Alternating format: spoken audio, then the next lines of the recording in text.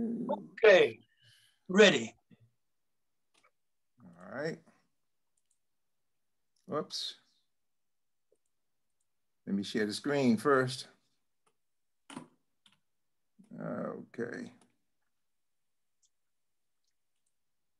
All right, share screen, here we go.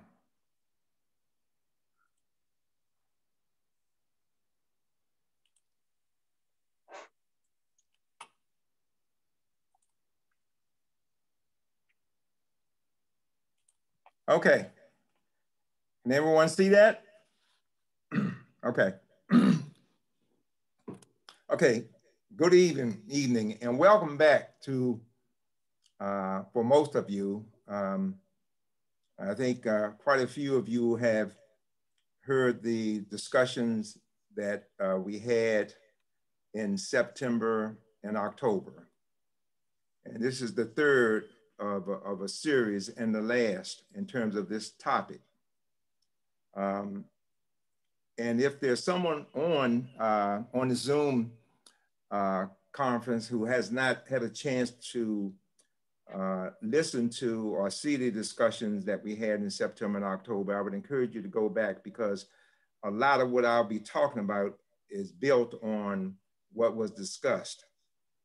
Um, I would like first like to thank the African American Cultural Society uh, for um, uh, sponsoring this uh, discussion and also the Unitarian Universal Congregation of Ormond Beach. Uh, I, I, really appreciate uh, your support and, and assistance. And a big shout out to Reinhold, who came up with this idea and twisted my arm to do it. And so um, uh, we have to really give Reinhold credit for um, getting me to a point where I would um, uh, do these uh, discussions. Okay, so let's go ahead and start. Um, I will begin by speaking with you in the oldest uh, written language known to man, Hotep Ankh Udep Sepnep. And that translates into greetings, life, prosperity, and health. I think this is a language that uh, if uh, people would go back and take the time to study it, that uh, it would be well worth the, uh, their time and uh, well worth their being able to explore for themselves and, and find the, the greatness of these people who, who lived uh, approximately six, 7,000 years ago and were able to uh, understand the laws of nature to the point where they were able to manifest it and bring it into reality and create the greatest civilization known to man. It's a, a, a wonderful language and you will be amazed at how articulate and rational they were when they uh, talked about the universe, nature, and our relationship to nature in terms of um, truth, justice, order, and righteousness. Um, I want to start with Herodotus, who is the father of Western history. And Herodotus was the, the first person to really start writing about what was happening during his time um, between 485 and 425 uh, before the Common Era. Uh, he took detailed notes and he wrote about his observations. Um, one of his observations, uh, since he had traveled uh, from the Delta all the way down to uh, Nubia in terms of um, ancient Kemet, or what we now call Egypt, was he was up in, um, in on the Black Sea and he made a notation in terms of the koshas and, and how they looked. And he basically stated that the Koshans are black with woolly hair like the Egyptians and Ethiopians. Now, Koshans at that time was located where present day Georgia is, right off the Black Sea between Russia, Syria, Turkey, up in that area. And so Herodotus, the father of history, was saying that the folk up here were, were black, just like the folk in, in Egypt and Ethiopia. Okay, and this, these are his uh, direct observations. Now, Herodotus uh, wrote extensively, and he also said, I want to read this verbatim so that we can get a feel for what Herodotus saw and observed. The Egyptians, they say, were the first to discover the solar year and to portion out its course into 12 parts. They obtained this knowledge from the stars. To my mind, they contrived this year much more cleverly than the Greeks, for these last every other year intercalculate a whole month, which means that the Greeks inserted a month, okay, every other year. But the Egyptians divided the year into 12 months of 30 days each, and every year a space of five days besides, thereby the circuit of the seasons is made to return with uniformity. And so what Herodotus is really saying is that, uh, that the Egyptian year, 365 days, they had 360 days, which their calendar was 30 days, uh, and it consists of a 10 day week. And we have the documents that show that at the end of that 10 day week, uh, the workers would have uh, a day or two off. All right. So it was 30 days a month. And at 360 days, in the last five days, they would have festivals uh, for the various uh, uh deities, etc. And if you look at 365 days, the calendar would come back around for a complete cycle. And this is what um, Herodotus was talking about every 1,460 years.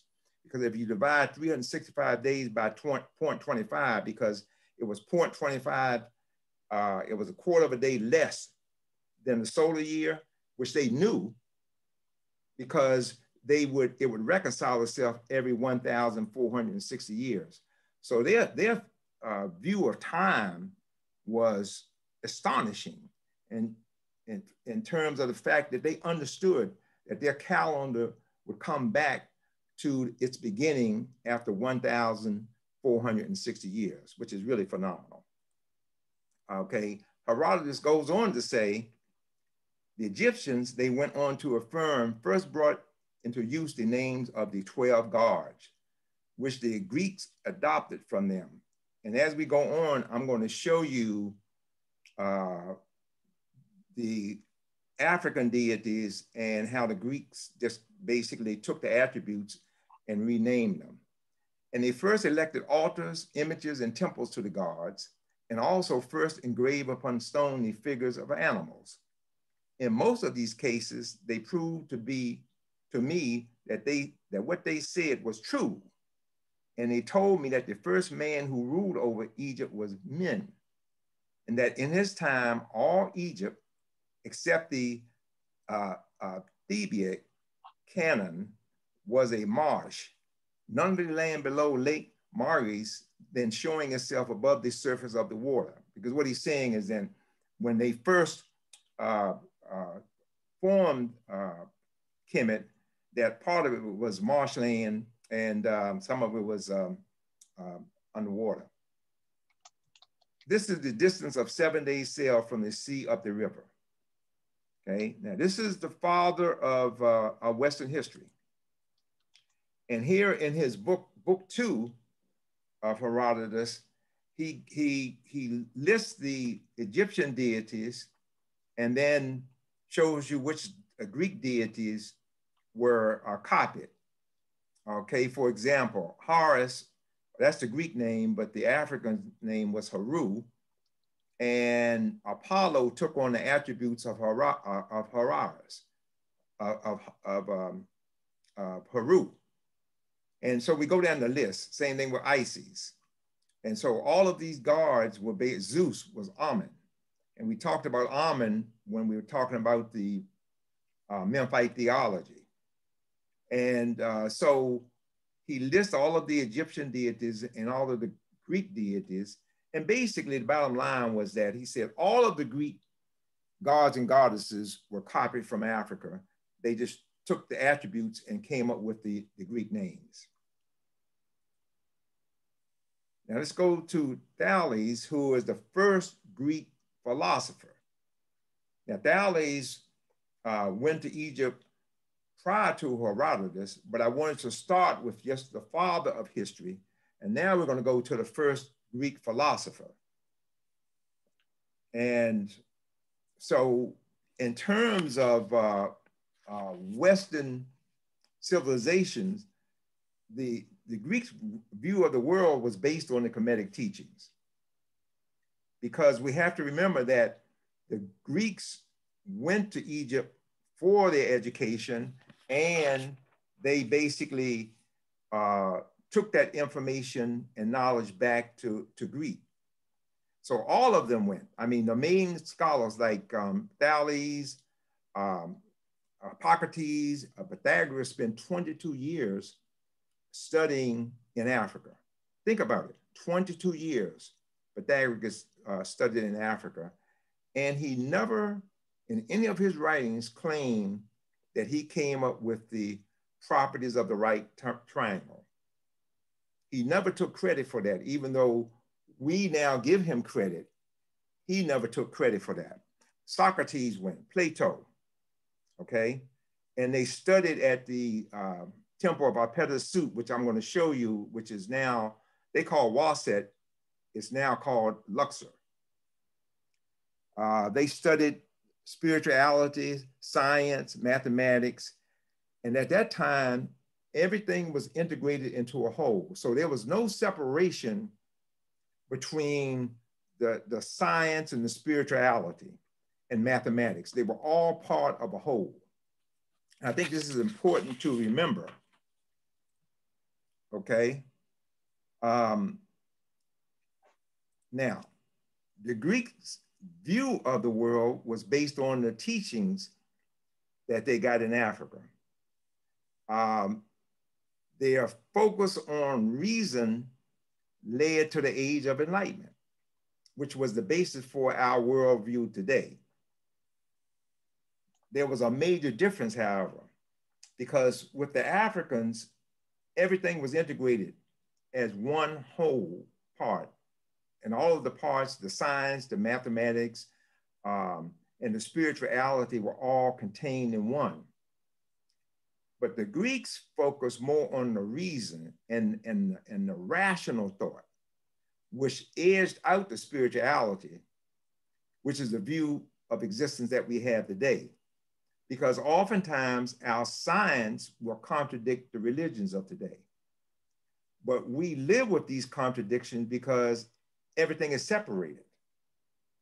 Okay, so even though our science may contradict our religions, because everything is uh, separated in different departments, in different buckets, then we live with these contradictions. Now, um, despite the overwhelming evidence and proof, Africa's contribution to world civilization and culture are not acknowledged or portrayed. And even today, and it's very, uh, you know, that's one of the reasons I do what I do, because this information is not taught in the schools. And uh, so, and in, in, the 1800s, we, uh, Africa was basically written out of any contribution to Europe's rise to greatness. And the reason for that was that it had to be suppressed because there's no way that you could institute uh, uh, chattel slavery based on the premise that Africans were less than human and inferior, and at the same time say that they were in the forefront of civilization. So as a result, this uh, rise to power was on the backs of enslaved Africans, but the history and the information uh, regarding African contribution to uh, world civilization were suppressed.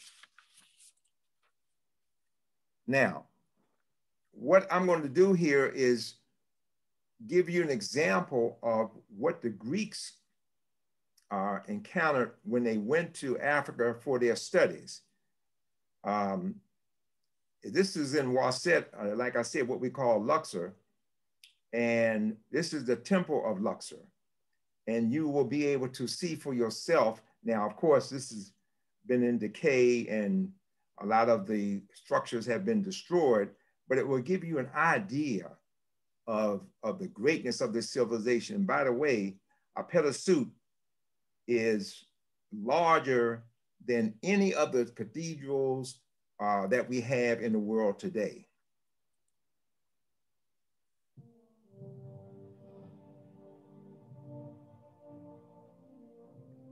That's the Nile River. And the Temple of Luxor is on the east bank.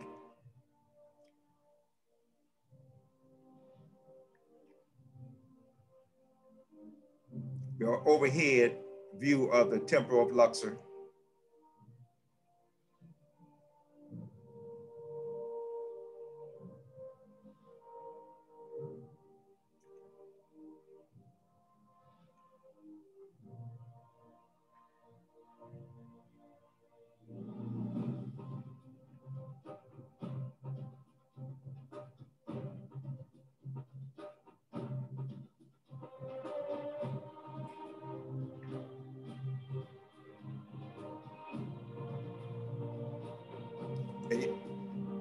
Look at the, the pillars, we now call these pillars Greek architecture, but they're really are, African architecture because the Greeks copied this once they started coming to Africa. And these pillars are so huge that when we were there, five of us with outstretched arms, it took five of us to, to surround these pillars.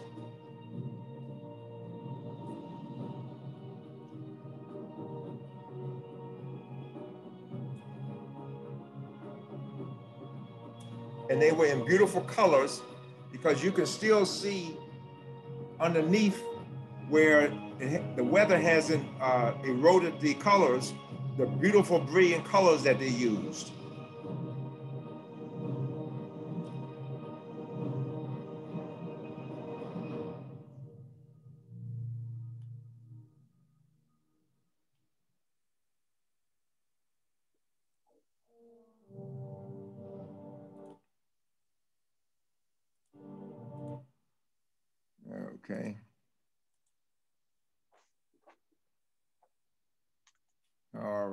See, where am I? Okay, here we go.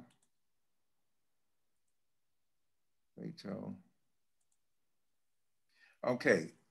Uh, oh, that, here we go. Okay, Plato.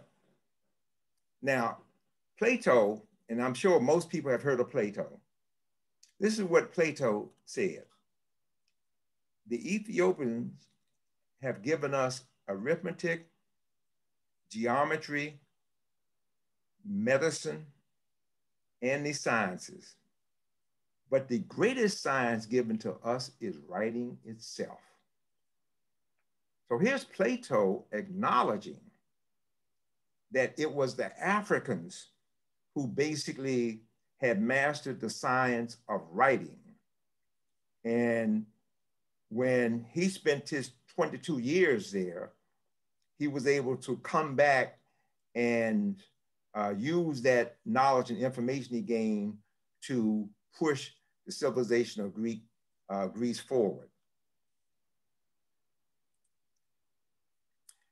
And uh, in his Republic, uh, Plato also describes a, uh, a hierarchy in terms of the Greeks, when they got, when they were taught the African spirituality and the science uh, and the, in the, in nature, in terms of the rational, um, um, uh, the rational, the rationality of nature, they focus more on, on, on, on rationality. In other words, reason and discipline. And uh, here again, when I talked about the duality uh, last month, uh, the, uh, the importance of the duality, that we lived in a realm of duality, well, we, they, uh, they were taught the higher self reason pursues knowledge, reason, and discipline, and the lower self, which is our animalistic nature, which basically we try to overcome and we try to focus on the higher self. But it's a constant struggle for all humans to overcome the animalistic nature that the body brings. The ancient African called it fretters. In other words, it's every day that we wake up, we try to rise to a level that our mind would take us versus our body. And now, based on uh, a papyrus that's about a thousand years old, Papyrus, the father of math, uh, uh, Pythagoras, learned calculus and geometry uh, in Africa. Okay, and the Greeks gave the uh, Africans credit for their education. In fact, Aristotle stated that Egypt was the cradle of mathematics. But they, when the Greeks got hold of this knowledge and they were educated, they formed their own interpretations of what they learned and built upon that. So they took this information and this knowledge and they built upon it, okay, and, and enhanced it for their civilization. So what they were able to do was to focus on reason. And by focusing on reason, then they basically sort of uh, push the emotional part to the side and also didn't focus on the spirituality. So the concepts of spirituality and reason began to separate, whereas in Africa, they were all part of the whole, but the Greeks took this and focused primarily on reason, uh, logic, and the separation was made. And that's how the concept of religion was born, which was separated from nature per se. Where it was all part of the whole, then it was separated. So that's how we got the concept of religion, which we uh, basically use today. All right, so um, this is the overall thrust of what happened. First, the Greeks started going to Africa for their education. Uh, they were taught mathematics, logic, the sciences. And then once they were uh, uh, taught that information, they took it back to Greece, but they focused more on the reason. And when you read their writings, uh, such as in the Republic, which um, stated that only men who had proven over time that they were worthy and had demonstrated rational thought should be leaders. And in fact, I think Aristotle was right on point. I think that if we had the system here in America, um, where our presidents had to prove over time that they were rational, that they were thoughtful, and that they were humane, then we could uh, probably uh, avoid some of the issues that we that we have had in the past. But anyhow, that's uh, uh, the whole concept of the, of the Greeks going to Africa, uh, being educated, bringing that back, and then using it to build and develop the Greek civilization, which we, the rest of the world, has modeled itself on. Now, the people of Kemet are called themselves the, uh, the country they call themselves the black people, okay, pronounced Kemetio. And these, these are the meta that they use. burnt charcoal, an owl, owl and bread, and then the people are the determinants. So what this is saying is black people, okay? There are no other people in the world who will use burnt charcoal to represent themselves. So we have all of this information about who these people were, but even today, because of what has happened in the world, uh, whenever we look at documentaries or we look at movies, the ancient Egyptians are never shown as Black people. Okay. And I contend the reason for that is because it upsets the apple cart. You, you, you can't, uh, in other words, the whole premise of Africans being enslaved was because of the fact that they were inferior, they didn't have a culture, and therefore slavery was justified based on the fact that Africans were somehow less than human.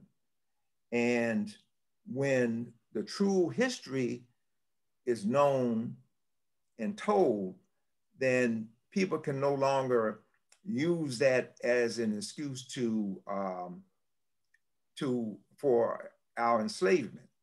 And the whole premise of slavery and the justification for it just crumbles. Okay. Um, also, uh, the uh, Africans in Kemet also call themselves, it's called the land of the black people. Okay, and now some of the noted uh, Egyptologists, even today, will try to argue that they were talking about the, the black mud. And I pose to all of you, you name me any people in the world who name themselves after the mud in a country. Um, not the Greeks. Uh, we, go to, we go to Rome, we go to the Romans, we go to France, we go to the French. Okay, so there are no people in the world who have named themselves after the mud. They name themselves basically the country and the people's name are similar. So it's a ridiculous notion, but there, there, there are scholars today who try to make that point, try to say that they weren't talking about the people, even though we see the determinants back here where they are referring to people. Okay, so this is a battle that's going on even today. Now I'm getting back to Ma'at because uh, when we talked about Ma'at, it's the merge, uh, merging of spirituality and science, the elements and the laws of nature. And so that the commissions taught that the universe is rational, which the Greek name, Greeks name uh, logos. So the Greeks focus on the rational aspects of man okay? It was, it was rationality uh, that they focused on in terms of their uh, processing of this information. Now, let's move on to the first time in history that man was depicted as a god. This is Asar. Okay? This is the first depiction and the oldest depiction we have of man depicted as a god. Okay, he has the, the, the crook and the flail, and he has his right hand. If you notice, they always put the right hand over the left. And the symbolic meaning for the crook is that he would gather the followers etc. However, oftentimes discipline was needed, and that was the purpose of the flail. Now, Asar, and I'm going to uh, talk about some of these stories, was resurrected from death, and then he dwelt in heaven.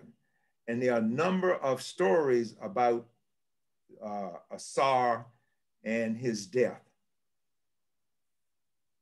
But this is the first depiction of a man as God. Now, in the in the in the temple of Luxor, you have a um, on the wall, and it's still there. Um, I saw this for myself. It's fading now, but it's a depiction of the Annunciation, the conception, the birth, and the adoration. Let me walk you through this and, and explain this. All right, on the left here, we have the god Jehudi. The Greeks renamed him Thoth. All right, and he has the head of an ibis bird because the ibis bird was known for his fine articulation of speech, and he was associated with writing and speaking. So he's announcing to the Virgin Queen that she is to give birth to the coming son. Okay, that's the first scene. The second scene, the god Yep, and he is in, in Egyptian mythology, he is the Holy Ghost. And then we have the goddess Hathor, the holding ox. Hathor is holding one to uh, Set's nostrils, and Yef is holding one to her um, head. Now, if you notice, look at her stomach. It's protruding slightly, which is telling us that she is pregnant, okay, by this Holy Spirit. Let's go to the next scene. Aset is sitting on the birthing stool. All right. And we have the nurses, and one of the nurses is holding up the holy child that was born. All right. Now we go to the adoration. The Holy Child is uh, admired by Amun, and and moon is noted for being the, the Holy Spirit behind all creation. And behind Amun are three men behind, uh, behind him with gifts. All right. In the right hand, uh, they had the um, the Ankh, which represents internal life, right here. All right, and I'm sorry, in, in, in the, I'm, I got that backwards. They're holding the gifts in the right hand and the eternal life with their left hands. So here we, here we have a story that's familiar to all of us that's 1700 BCE, 1700 BCE, right here on the walls of this temple. Okay. And you can't really look at this. If, if you had just looked at this on your own, you probably wouldn't have been able to figure it out. But you have to really have it, it explained. But once it's explained, then you can see these four scenes represents the Annunciation, the conception, the birth, and the aberration, adoration. Now, some of you may feel a little uncomfortable with this information, but this is truth. These are facts. Uh, this is evidence. It's still there. Um, if COVID-19 uh, weren't in existence, you could jump on a plane and in 12 hours, you could be in Luxor and you could go to that temple and you could see it for yourself. It's still there. Here we have uh, the first Madonna in Chow, Aset in Heru. I'm show you a number of these. Here's another depiction of Aset in Heru. Okay, now, the first Madonna in the world was Aset in Heru.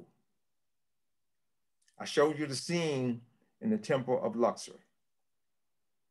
And that is why in Europe today, you have over 500 Black Madonnas in Chal today. Um, so this whole idea of the Madonna in Chal started in Africa and then it moved to other parts of the world. In fact, where the temple of, uh, where Notre Dame is, that was a temple of Isis in ancient times. Here we have the first Trinity. The difference is we have Asar, the Father, um, and Haru, the Son, and the Mother. Instead of the Holy Ghost, we have uh, Aset. So we have the Father, Son, and the Mother. And the set was the virgin who gave birth to the Holy Son. The reason that um, he has a hawk um, head is because that is representing spiritual vision. The hawk is noted for its keen eyesight. It can see for, for miles. So it will see prey and it will zero in on the prey and basically scoop down and, and pick it up. The Africans noted that. And so they attributed this spiritual vision and they put it on one of their deities. So that's why he has a hawk head, okay, to denote spiritual vision. But we have the Father, Son, and the Mother.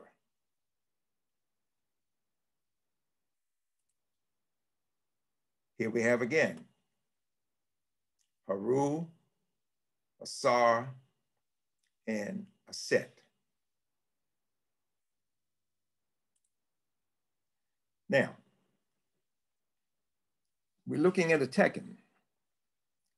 And I need to tell you a story to put this in perspective. Um, Asar was, was appointed king. His brother Set uh, did not like it. He was jealous. So he tricked him into uh, lying in a coffin.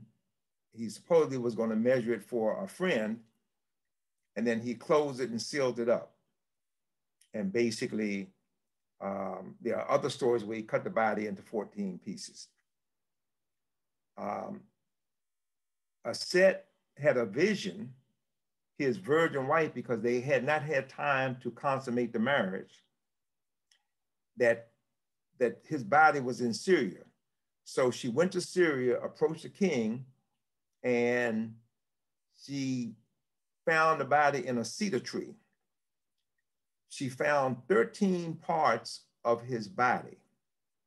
She could not find the 14th part, which was his phallus, because it was thrown in the Nile River and supposedly eaten by catfish. That's why the ancient Africans on the Nile didn't eat catfish. Okay. So the tekhen is a symbol to represent the missing part of Asar's body.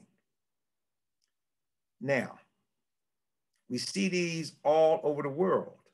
In fact, we see one in the rear of the, of behind the White House.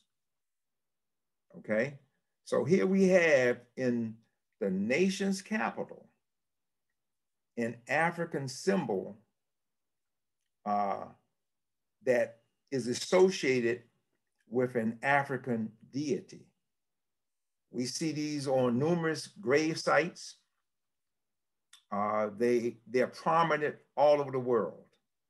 In fact, wherever I went, whenever I would see one, I used to take photos of them. I mean, even in Charlotte, North Carolina, they're all over the place. okay, these, uh, these, these tekhens.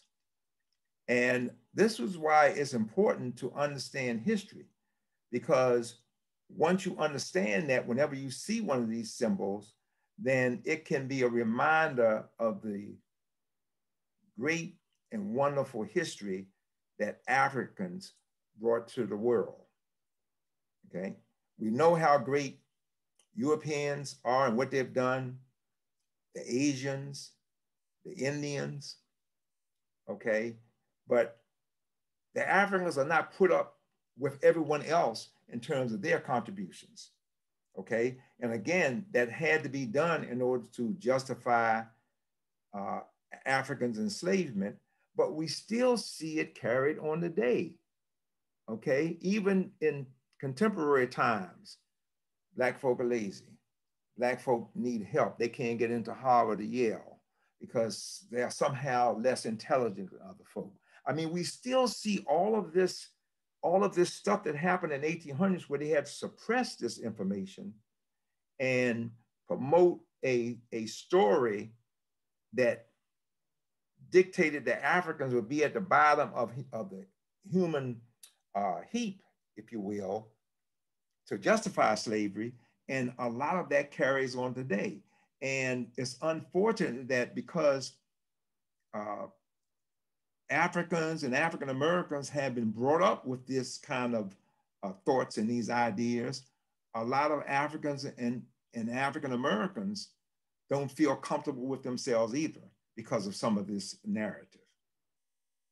Okay. But again, now, if you notice here with this, there's one on the left and there's one on the right. I talked about duality, how important duality is, that we live in a realm of duality as humans. The left represents the past, the right represents the future, the tekhen uh, that was on the right. These tekhens have been taken all over the world, by the, by the way. We have one in Central Park and we have one in Vatican Square, in the center of Vatican Square. We have them all over the world, in Paris, etc. And when you, as a human, walk through these two tekhens, then it's, it's a reminder or reinforcement to stay balanced, that you have to recognize the past uh, and, the, and the future, but you have to stay in the present. So you can't get too focused on the past at the expense of the present or the future, or get too focused on the future at the expense of the present and the past. So it, it represents a balance. So for example, if you go to St. Augustine and you cross the Bridge of Lions, it's the same uh, uh, symbols of two lions but it's the duality of nature. So when you're driving between those two lines, it should be a reminder to stay in balance. Okay, that we have to balance out the past, present, and the future. It is extremely important. Now here we have a scene of the after, uh, afterlife and they had rituals and they were um, had something in the canopic uh, jars in terms of the body parts, etc. Uh, so they had a, a, a 70 day ritual that they utilized for people who, who died. Here we have a boat to the afterlife because they focused on the fact that once we uh, died, our physical bodies decayed, that we had to guide ourselves through all of these trials and tribulation that we were tested before we got to be judged. And uh, here's, and this, this is phenomenal. Here's Khufu's boot, uh, boat. Khufu was the king who was responsible for commissioning the Great Pyramid. It's one of the oldest, largest and uh, ships intact from antiquity. It's 143 feet long and 19 and a half feet wide. Now, my friends who have boats have told me that you should never go to sea with any boat that's less than 30 feet if you're going to really go out into the sea. So here we have a boat that's 143 feet long and it ties right into the extensive research that Dr. Ivan Van Sertima uh, did when he wrote the book, They Came Before Columbus, the African presence in, in, in the Americas.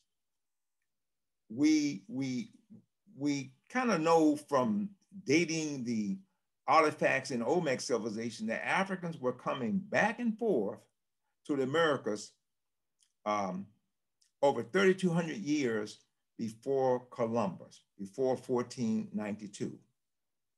Now, why did Columbus get the idea that he could sail west and get to the east? Well, Columbus was um, uh, living in, in, in Portugal. and Portugal, uh, they were the first Europeans to uh, start enslaving Africans. The Arabs had been enslaving Africans for, for decades prior to uh, the Portuguese. So the, so, the, so the enslavement of Africans had already been set up by the Arabs. Okay. And um, so when the, when the Portuguese were going down the west coast of Africa, some of the Africans would tell them that there was a land to the west. So uh, Columbus, he didn't know for sure, but he had heard this. And so that was one of the reasons why this whole expedition uh, came to fruition because of what he had heard. Of course, when they were able to gather the funds and, and the crew, and he started sailing west, he, because they didn't know latitude or longitude, uh, he didn't have a clue as to where he was going. All he knew he was going west. But what he did do once he left Europe, they stopped off the coast of Africa and he changed sails. He used the African sail because it allowed him to sail and he didn't have to have the wind directly behind him. The Africans had already figured that out. Okay. Uh, so all of this narrative fits together in terms of the Africans being able to come back and forth to the Americans because here we have a boat that's 1700 years old that is that could travel the seas. All right, so now here's Khufu. So he was uh, ruler of the fourth dynasty. And um, to show you how there's nothing new under the sun, uh, for a while in the Black community, especially in the 60s and 70s, people wore what we call the Khufu hat. So this hat, a lot of people were wearing in the 60s and the 70s. Okay, but so here's the king of the fourth, fourth dynasty. But it's interesting that even when you look at the History Channel and Discovery Channel, when they depict the Egyptians, they never depict them as Africans. Sometimes they're depict them with light, you know, you can't even tell what they are. I mean, it's like, you know, it's so it's really interesting even today that the world still does not want to acknowledge that the Africans on the Nile were the ones who laid the foundation for the civilization of the world. And so that's one of the reasons why we're still having issues with all of these negative perceptions about Africans and African Americans. It carries on to today because this information is not taught. And um, if, if someone is, uh, does teach it, then they are basically questioned and people try to refute it. Okay, now this is the judgment scene.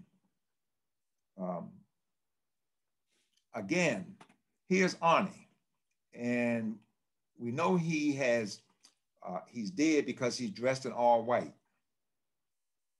Um, here's Yehudi, okay? And he has a, um, the head of a jackal. Now, why did they use the head of a jackal? They used the head of a jackal to represent keen and fine judgment. The Africans noted that jackals would only eat their uh, meal when the animal had decayed to a certain point where they could get the most nutrition out of it. So there was a time period when once something was dead, they would wait until that perfect time when they could get the most nutrition out of that uh, dead animal. So the Africans noted that, so they uh, attributed keen and fine judgment. That's why he is adjusting the scale for Ani, who is going to be judged. You can see Jehudi here adjusting the scale. Look at this, the feather of my art. This is Ma'at here, the, woman with the feather on her head. Okay. Here we have the feather here, which represents Ma'at, and this is the heart. And he's being judged um, against the 42 principles of Ma'at. You know, we've gone over those truth, justice, order, righteousness, etc. And you've heard the phrase, your, your, heart is as light as a feather. That well, that's where this comes from. Because if Ani's heart is lighter than a feather, that means that he has lived by the principles of Ma'at. If his heart were heavier, then you have this monster here that's ready to devour his soul because he's dead now. So his they have the body here, but this is really his soul. He's being judged. Okay. So we can see that on his heart was lighter than the feather. So we have Anubis here, which is represented by the ibis uh, head. And the reason they use the ibis head because the ibis has a beautiful sound. They make beautiful sounds. So they use that to represent articulation of speech and writing. So contrary to what we've been told in the past, they weren't worshiping animals. They used the attributes of the animal to convey a message. Right? So since Ani lived according to the principles of Ma'at, here he is um, with Haru. This is the Holy Son that I showed you the scene of, the adoration and uh, how he was born, etc. And he has a hawk head, and I explain why he has a hawk head because of spiritual vision. He is being presented to his father, Asar. So what this is saying is that you can't get to the Father unless you go to the Son. Okay, we've heard that before. Now, behind Asar is Aset and her sister, Nephthys, which represents uh, death and life. So we again we have the principles of duality here. We're seeing all this duality how life is, we live in a realm of duality. And for anyone who is in one of the secret societies, Asar is sitting on the square. Okay, and I know that's important for a lot of the secret societies. Okay, now let's decode this scene even more. Up at the top, these are the jurors that are judging whether or not Ani, what the verdict will be, okay, after examining his life, in addition to it being weighed. So here again, we have um, Haru, and we have Asar, the Father and the Holy Son which represents the spirituality, and they're holding an ankh, uh, uh, the symbol of life. And we have we have the, the judge. Now, the jurors, how many do we have? One, two, three, four, five, six, seven, eight, nine, 10, 11, 12. Very interesting. Our legal system, our court system, 12 jurors and the judge. And you swear on the Bible. Okay, you take an oath that you're going to speak truth. You're going to tell the truth. Coincidence? You be the judge. Okay, but here it is, thousands and thousands of years ago in Africa. Now, when we go to some of the oldest uh, texts in the world, one of those books is the books of coming forth by day and night. And I want to dispel this myth about Africans uh, worshiping a multitude of, of gods. That's not true. They had a multitude of deities, but they were similar to our angels. Okay, they had certain roles that they played in terms of our existence. So this is verbatim from the coming forth by day and night. God is one and only, and none other existed with him. God is the one, the one who have made all things. God is a spirit, a hidden spirit, the spirit of spirits, the great spirit of the commissions, the divine spirit. God is from the beginning, and he hath been from the beginning. He hath existed from of old and was when nothing else had been. He existed when nothing else existed, and what existed he created after he had come into being. He is the Father of beginnings. God is the eternal one. He is the Father of beginnings. God is the eternal one. He is eternal and infinite and endureth forever and aye. Now, these are some of the oldest uh, spiritual books in the world. Okay, so this is what they were seeing. Okay, now we go with um, E. Wallis Budge, who was a noted Egyptologist uh, from England. And he wrote a book titled Osiris and the Egyptian Resurrection. And Budge had spent his life studying the Medu Neter.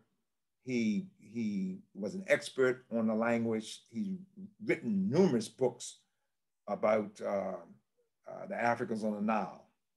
This is what he says. Now, if we examine the religions of modern African peoples, we find that the beliefs underlying them are almost identical with those described above. As they are not derived from the Egyptians, it follows that they are the natural product of the religious mind of the natives of certain parts of Africa, which is the same in all periods. The evidence of the older travelers, the Bosses, Mungo Park, Livingstone, and others, and that of more recent travelers, such as Dr. Nassau and Sir Harry Johnston, proves that almost every African people with whom they came in contact possessed a name for God Almighty, in whose existence and power they firmly believed their attitude towards God was and is exactly that of the ancient Egyptians.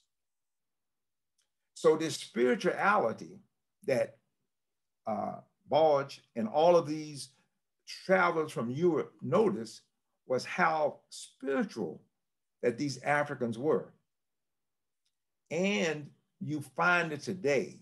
When I was in Ghana, I was astonished at how religious they were. And you would find uh, photos of Jesus on the back of cabs, on the back, on the front of businesses. They would name their, their businesses that you saw posters with all of the preachers. It was incredible. I think uh, for most of us, we were astonished how they seem to take in religion and more so than even African Americans here in America. And you know that African Americans here are very, very religious. Okay. Um, so it's this, this spirituality that these Africans bring is something that's always been there. And I think that's one of the reasons why when African Americans in general try to live the tenets of Christianity, okay, uh, that's why I think it would be very, very difficult to have a black man who would, was running for president and who had a history of doing bad deeds. I just don't think you could get a large percentage of African Americans to vote for him because of this, of, because of this spirituality. Okay. Now I could be wrong, but when I see this, okay, and I see how they take to this and, and they adhere to it and they try to live that particular life. And now I'm not talking about the criminals and all the people who are just all over the place. I'm talking about the, the, the, the, the general population of African Americans. I've seen it all my life. I was brought up in the church. I, my mother, the whole community. I mean, everybody went to church. And our whole lives were centered around the church. The church was the hub for our, our, our life, our entertainment, our, our socialization. Okay. Um, so it's just really interesting how Budge was able to uh, see that, in all of the Europeans who traveled to Africa saw that, and he basically said it was the same as what he saw in Egypt. Okay, now I'm gonna show you some of the, uh, a few of the 500 Madonnas that are in Europe. Here's one in Rome, Russia, Germany, okay, and the Pope coat of arms has the Black Madonna and baby and baby Jesus. So in terms of the Madonna and the Holy Child, we have before, after, and way after. So this story continues. Okay. Now, some of the rituals that we that I practice and all of you have practiced. I've been baptized. I'm sure most of you have. Um, here we have the king being uh, baptized with Haru, the Holy Son, and Jehudi.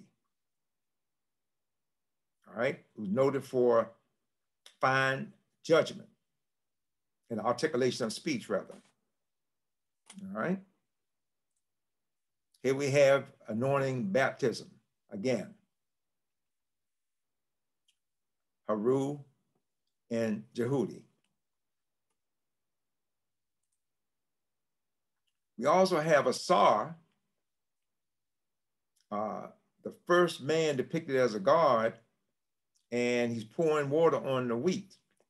The wheat is growing up from Asar's body, the bread.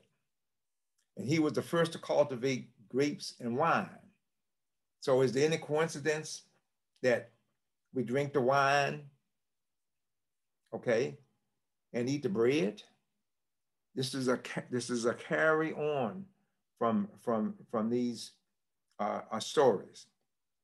By the way, um, Haru, who was Asar's son, was born on December the 25th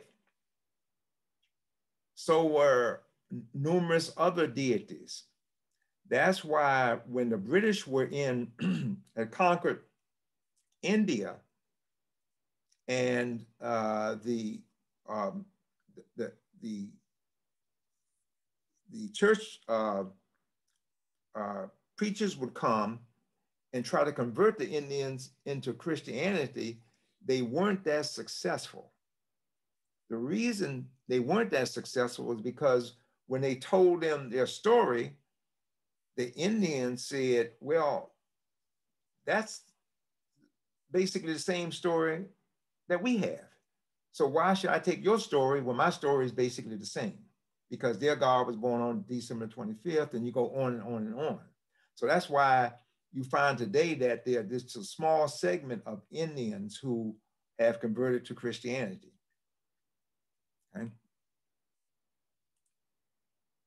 Now here we have the first depiction of circumcision. Okay. Okay, at the time this was done, um, we didn't have Abraham. Okay, and the reason that the um, the, the, the commissions uh, cut off the foreskin from a man's penis was because they wanted to cut off the feminine part and for cleansingness. That's what they said in their writings. So that was the reason they did that. But they believed in circumcision. They were the first people in the world to circumcise males.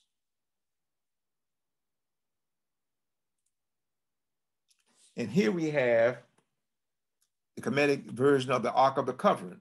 Here's the Ark. Okay.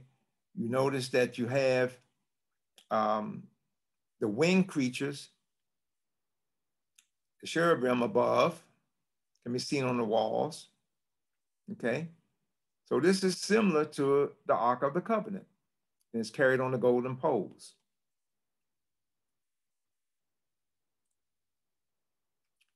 All right, now I'm going to move you to the Kemetic calendar because I think this is important. And I want to again illustrate, like I did with the Oscar uh, last month, how the information and a number of the uh, things that we use today have come from Africa. Now here is the uh, depiction of the calendar on the wall, but I'm gonna give you a, uh, a drawing so we can see what they were saying. So here we have a glyph that represents a day. This one represents a month. Uh, this is for one, uh, all the way up to nine. And when nine, you have here, and then you have 10. So here we have, we can read this as the first day, okay, of the first month. Okay, the first day of the first month. The second day, third day, fourth day, fifth day, sixth day, until we get to the ninth. And so then we change from them using just sticks, they use this as a symbol for nine, and here's 10. And then we go back and repeat the same thing again okay? But it is very, very logical. Here we have 11 day, 12th day, 13th day, 14th day, okay? Until we get again to the 19th, all the way to the end. Very, very logical.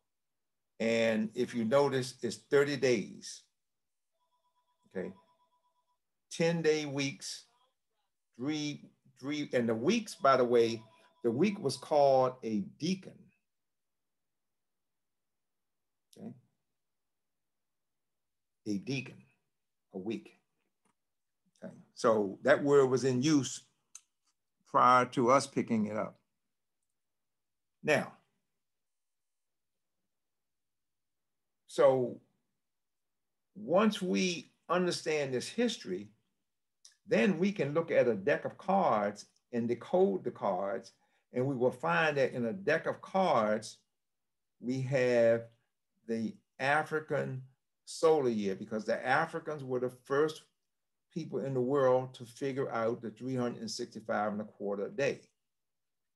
And it, it, and there were reasons, there were reasons for that because it was, it was as if the, the Nile Valley was the perfect place because whenever we had the uh, um, the rising of the sun and Sirius together, that was the start of the Africans' new year. Okay? But they noticed that every fourth year, the sun would come up a day earlier. The sun and and um, uh, uh, Sirius. So over time, they figured out, oh, so there's a quarter day that we have to add because what's happening is this 365 days that we are counting every fourth year is coming a day early. So we must be behind. Okay. And so that's how they were able to figure out how to reconcile their calendar every 1,460 years. They would happen to be at the right place on the planet where they could figure uh, these things out because it didn't rain any more than maybe uh, three to four inches a year in, in Kemet. So they had clear skies every day for the most part. And at night they could see the stars. So they were just in the perfect place. And over time, they figured this out. So let me show you how this, the person or persons who put together a deck of cards basically use the African solar year. We have 12 face cards. 12 months in a year. We have 13 cards in a suit. We have 13 weeks for each season. Okay. We also have 13 um, new moons a year. Okay. We have 52 cards in a deck. We have 52 weeks in a year. If you look at the even cards uh, in a suit, one, two, three, four, five, and the queen is even card, six. Four times six gives you 24, which represents the 24 hours in a day. Now, why are quite a few deck of cards red and black? Think about it. Red represents the sun, the day, and black represents the night. Okay. If you add up all of the cards, you will get 364. If you use, you know, if you use uh, Jack is 11, 12 is for the queen, 13 for the king. We have jokers, two jokers. If you look up the word joker, it's it, the, one of the meanings of joker is the remnants of things. So the big joker represents one, and the small joker represents the quarter. So we have the 365 and a quarter days. So this is how information can be put right in front of us and we not have a clue as to what the true meaning of the information is. So when you're playing with cards, you can stretch it to say that you're really playing with your life in a way, because this represents uh, a major component of our existence, the solar year. Now, I want to, uh, that ends my discussion on, on this whole um, uh, ream of the Greeks going to Africa, uh, learning from the Africans and taking their information, uh, reframing it to work for them, and then spreading that the, uh, throughout the Western world. And all of the similarities between what was happening in ancient Africa and in some of the religions that are ongoing today. Um, if you want to pursue this further, then I have a suggested reading list for you. The first one, the first book I would recommend if you're just starting is Nile Valley Contribution to Civilization by Tony Browder. Tony lives in DC and Harry and I used to go and see him quite often when he would give lectures. And um, it's, uh, uh, and the reason I recommend this book is because it's an easy read. It's large print. Uh, he's broken it down so that you can skip around if you like, but it, it's, it's very comprehensive. And it touches on a number of things that I've mentioned uh, in this discussion. It's, it's a great book. So if you're just going to start out exploring uh, this information for yourself, I would recommend Nile Valley Contributions to Civilization. The next one is Introduction to African Civilization by John G. Jackson. Um, this is very comprehensive. It is a classic. It is one of the best books out there if you want to explore African civilization. The next one is The African Origins of Civilization, Myth or Reality by Dr. Cheikh Anta Diop. Now, uh, Cheikh Anta Diop was another genius. I mean, he, this man uh, was able to develop the melanin dosage test, which would allow anyone to determine how much melanin was in the mummies in, in, um, in Kemet or in Egypt. Well, once he developed that test, the the Arabs who now control Egypt wouldn't let him test any of the mummies. They wouldn't let him do it. However, he had a, a friend who was a curator, and I think of the museum in, in England, in London, and he allowed him to go in, and all he needed was just a mic, microscopic piece of the, of the, of the mummy, allowed him to do the test, and sure enough, the mummies did have melanin. Okay. A great man. He uh, he was he he he mastered the Medu Neter. He showed that um, the Medu Neter was embedded in in numerous African languages that are spoken uh, today, such as Wolof. Um, people in Senegal they could see the similarities of the words. The same words had the same meanings. So, so because what happened once uh, Kemet started being invaded on a regular basis with the, the Persians, the Assyrians, uh, etc., Africans started leaving and going to the western part of Africa. Okay, and so they took remnants of this civilization with them. Now, this is another wonderful book edited by Ivan Van Sertima, who was just a phenomenal writer and a brilliant scholar, Black Women in Antiquity. And if you want to know the role that Black women have played in history, this is a must read because you will find uh, women uh, in this book that you've never heard of and never and they've never been discussed but just a phenomenal book about what Black women in antiquity and what their contributions were. The African presence in ancient America that came before Columbus. I reference of this book um, in terms of Africans coming back and forth to the Americas 2,300 years before Columbus.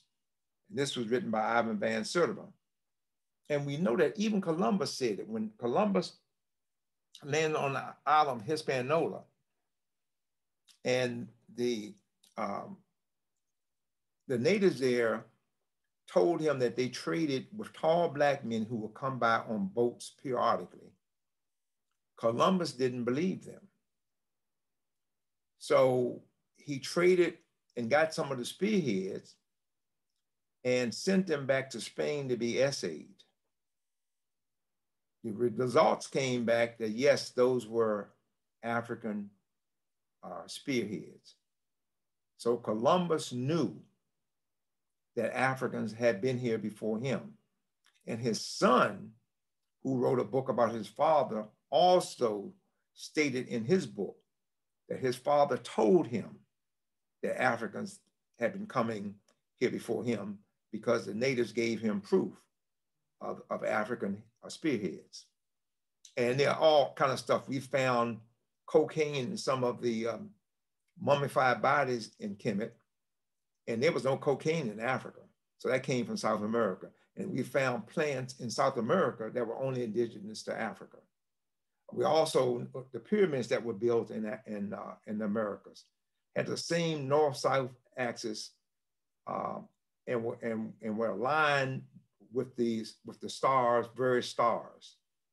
Also, the 20 Olmec heads, and this is an Olmec head here, which weigh up to 20 tons, I mean 40 tons, I'm sorry, uh, are basically all over um, South America.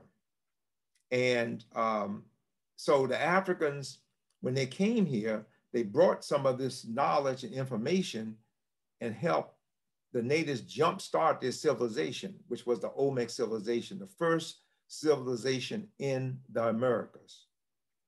And uh, when they have found the Olmec burial sites, they did a, a melanosis test on the bodies, and about 26% of them were, were, were, were Africans, or the ones who were buried. So that's further proof. Despite all of this, oh, and by the way, we found Medu Neter in, in Idaho for some of the Native Americans, okay? I could go on and on and on about, about uh, the, the, the things that we found in Americas and in Africa. But despite this, when Ivan Van Sertima, when this book was published, he was ostracized. And I feel that it, it, it, it helped contribute to his early death because he was really taken to task for even suggesting that Africans were coming back and forth to the Americas. Okay. Um, and uh, he went about the business of, of spending his life refuting the critics and proving his point, proving his point. He's written a number of other books to, to further emphasize the fact that they were coming back and forth to the Americas. But this is a, wow, could he write? Just when you, when you read this book, you marvel at how well Dr. Ivan Van Sertima could write. It's, a, it's another classic book, a must read if you're interested in knowing about early America and the influence on, on the civilizations in the early Americas. Here we have UNESCO, the United Nations Scientific and Education Organization. This is the organization set up by the United Nations to go around the world to look at history and science. So they had a a meeting in the 70s to settle once and for all whether or not the ancient Egyptians were African. And we're still going through this in the 70s. So the top scholars in the world met and they had two Africans, Dr. Ivan Van Sertima and Dr. Obenga. And they met and discussed the information and the evidence they had that the ancient Egyptians were Africans.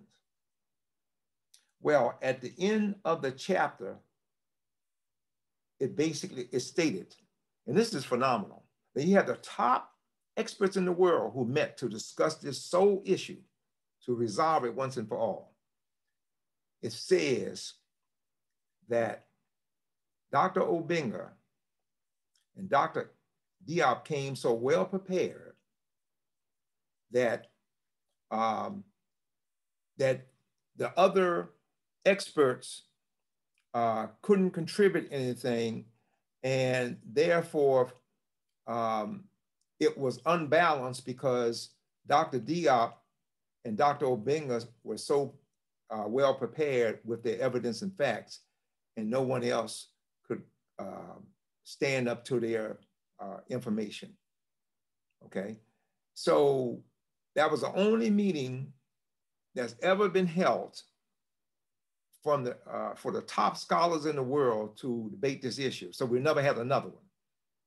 Okay, so even in the 70s, this because this is so important, and this is one of the reasons why I do what I do. I'm trying to, as much as possible, to dis dispel these untruths about Black people and our supposedly inferiority, or somehow we are less than other people in, uh, on the globe, which is nonsense in itself because people are people. In every ethnic group, you're gonna have some geniuses, a few geniuses every while, and every now and then you're gonna have smart people, you're gonna have people in the middle, and you're gonna have people at the bottom.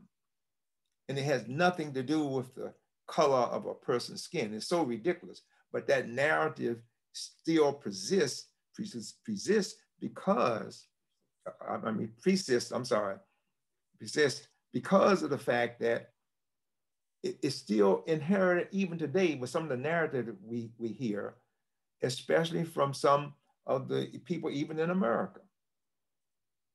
Okay? And it's based on these distortions that have been carried over from generation to generation. Here we have the cult of the Black Virgin. I mentioned to you that we have over 500 Black uh, Madonnas and Child in Europe. And this uh, Ean Begg is it's a wonderful book. He goes into the explanations of where they are. So if you if you once the pandemic is over, if you decide to go to Europe, um, please read this book because you may be in some place in Poland or Germany or Spain where you could go and see one of these uh, Black virgins for yourself. A great book. Um, Stolen Legacy. Um, this is a, another classic by George G.M. James. Uh, George, Dr. James was a, a, a, top scholar in Greek, logic, rhetoric. I mean, he had mastered Greek, the language, etc. He taught at Johnson C. Smith and a number of universities. And he wrote this book, The Egyptian Origins of Western Philosophy. So again, I touched on it somewhat, uh, especially uh, last month. But this is a great book if you want to go and see exactly what the Greeks took and how it relates to what, uh, what the Africans had developed. Uh, another classic book. And lastly, we have the teachings of Ptah Hotep. This is the oldest intact book we found in the world, intact. We found other papyri that are older than this, but they weren't intact. And when you read this book, it is incredible. Now, Ptah Hotep was uh, over 100 years old when he compiled uh, these writings. But he talks about um, good speech, how whenever we say something, that we should practice good speech. He talks about the fact that if you're in a crowd and someone goes negative on you, not to go negative, to maintain your positive stance. And the intelligent people who are watching this go on will basically understand that the person who goes negative is a person who is wrong. Okay. He talks about how children who don't uh, listen to their parents, don't uh, stumble and bumble, and normally have a rough time in life. I mean, all of this knowledge that Africans had basically uh, understood and discovered thousands and thousands of years ago. It is a phenomenal read. Um, it's a it's a real thin book, so you you can read it in you know in, in, in probably an hour or so. And it was compiled by Asa Hilliard, who I knew, another brilliant scholar, Dr. Hilliard, um, and Larry uh, Williams. With that, Shem Hotel. Peace be upon you. Okay, so I'm ending with the oldest uh, written language in the world. And that is all I have to say this evening. I appreciate your attention, your attention, and I guess I'll turn it back over to Reinhold, and we'll uh, we'll take it from from there. Thank you very much.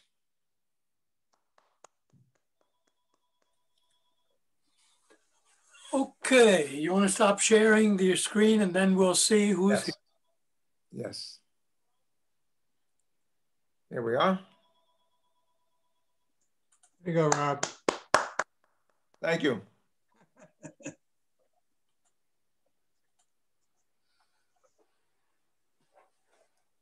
okay. Uh, if you have any questions or comments, please feel free to, uh, well, raise your hand and then uh, unmute and speak so that we don't all speak at once. John, go ahead.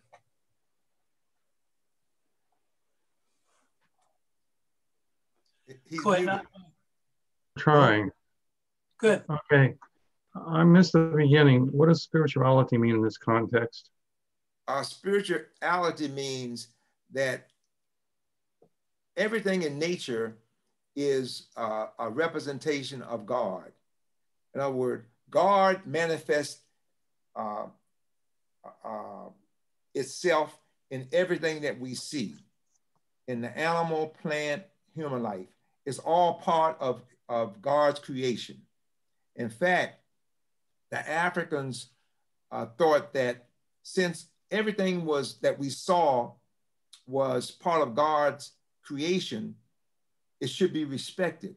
That's why they only killed to eat. And then when they, oftentimes they killed an animal, they would basically have rituals, etc. And they understood that as a result of that, since we were created by this divine intelligence that we call God, that there was a part of God in us and that it was up to us to find that God in us and resurrect ourselves so that we could walk the path of godliness every day. Understanding that we are not perfect, that we will stumble, but we get up every day and we try to be God-like.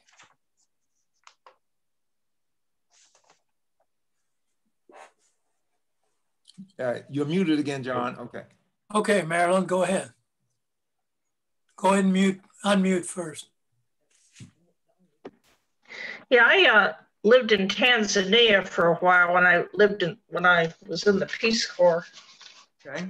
And the people there were very, very religious. I kind of attributed it to there were a lot of uh, Lutherans that came there and evangelized quite a bit.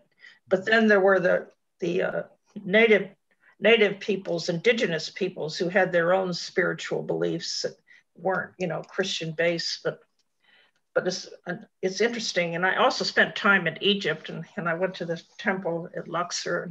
Okay. Oh, so it's really cool. So. Great. Yeah. Thank you very much.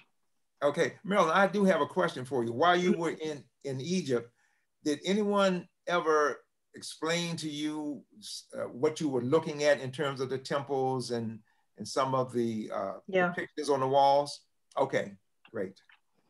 Yeah, it was, you know, I didn't take notes or what have you, you know, and I didn't buy any books, but mm-hmm. uh, it was very, very interesting. And, and, and uh, we, we, I went on a, the only cruise I've ever been on was a cruise down the Nile River. And we stopped at all these temples, you know, about three or four times every day we would stop and go into temples and we get all these lectures. It was, it was very interesting. Great. Uh, Mr. Jones, did I see you raise your hand? Yes. Unmute yourself.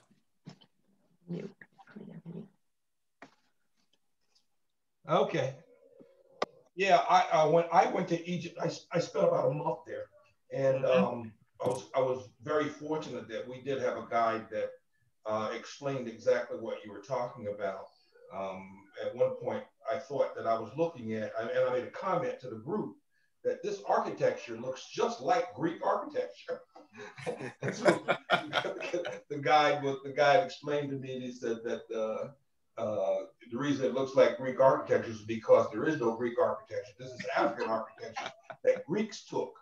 Uh, but that was not my question. Um, as late as the 18th century, when Napoleon invaded Egypt, he took 165 scholars with him to Egypt.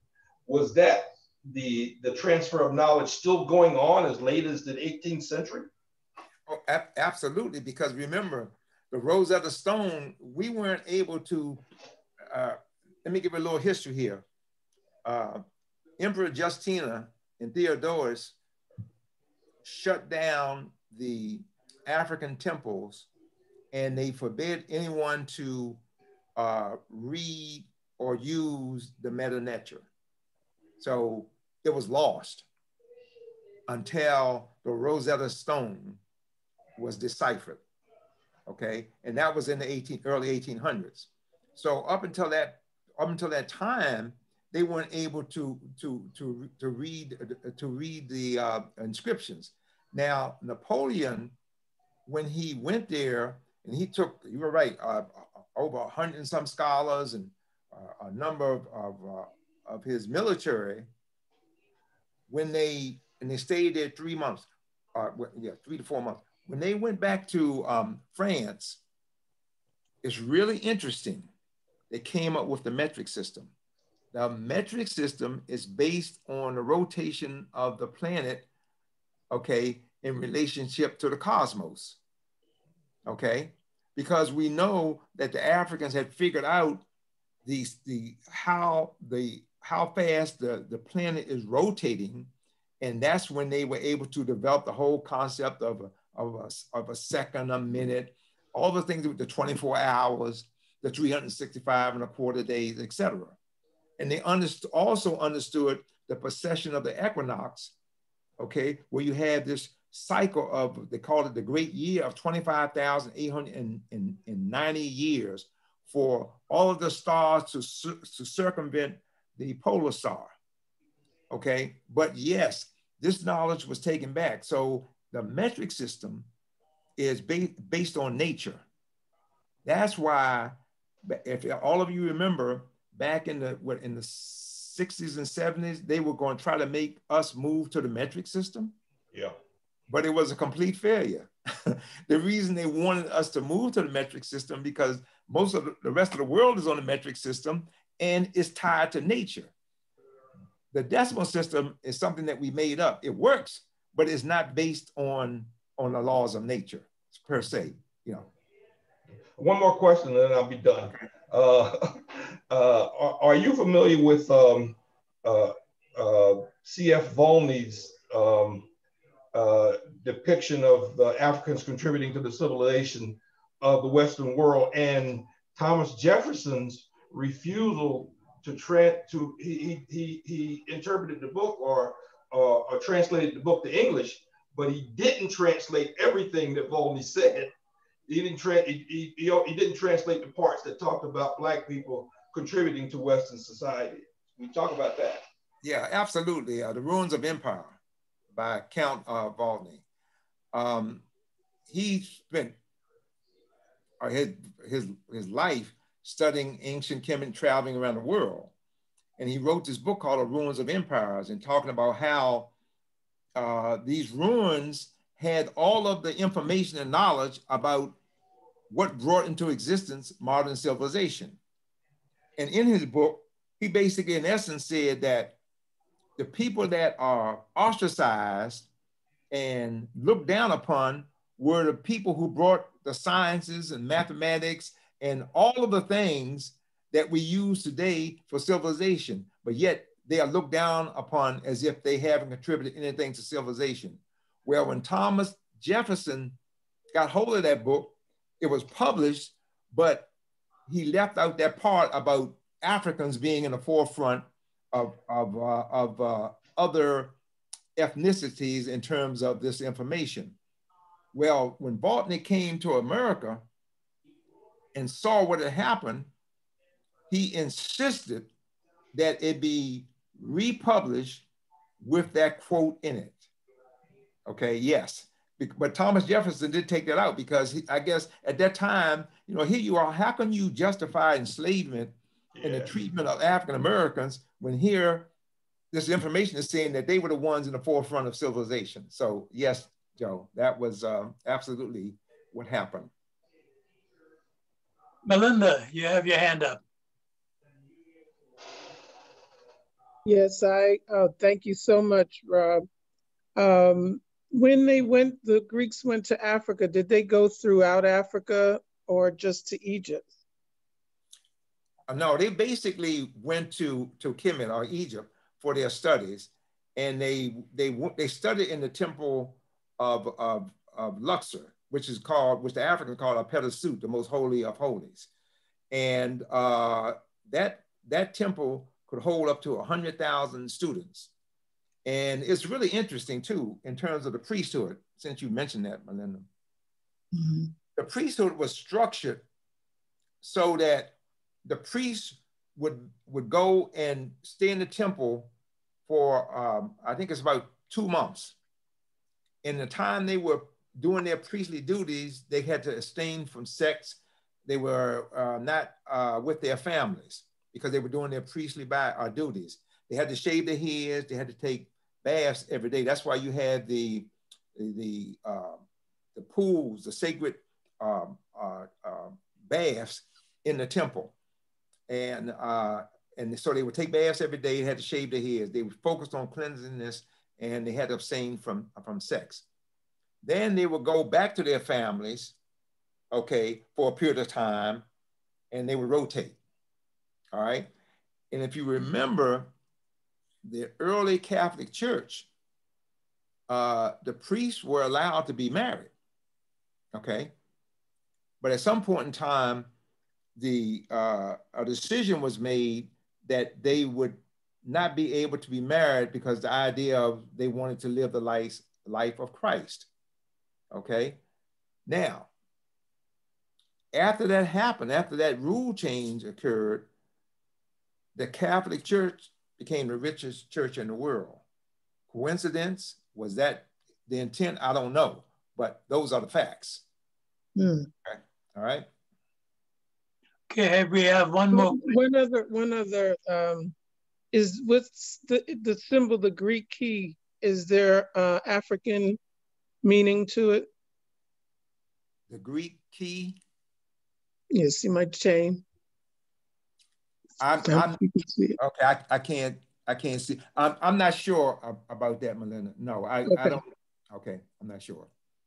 We have one more question in the chat. Uh, what part of nature is the basis of the metric system? The part of nature, the rotation of the planet, the time the, the time it takes. If you put a stick in the ground, okay, and basically put another stick further away or a mile or so away, how long does it take for the shadow to get from that, that stick to another stick? So that's what, how they were able to do it.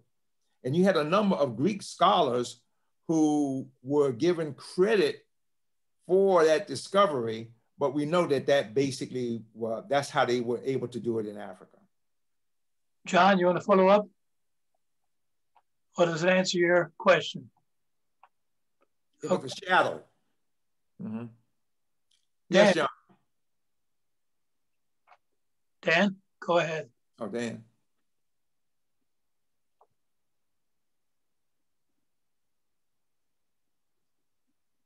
You're muted, Dan. Uh, he's unmuted, but I can't hear him. Looks like a failure on the microphone. Maybe you can type it in the chat, your question. Sorry, we can't hear you.